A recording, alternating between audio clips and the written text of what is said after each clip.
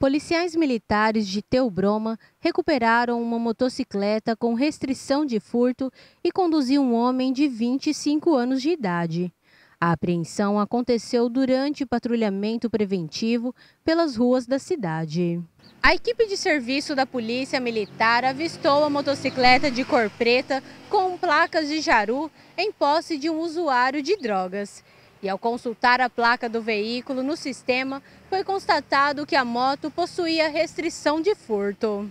Também foi verificado pelos policiais que o veículo estava com ligação direta. Diante dos fatos constatados, uma ocorrência foi registrada e o acusado foi apresentado na Unisp de Jaru para conhecimento da autoridade competente.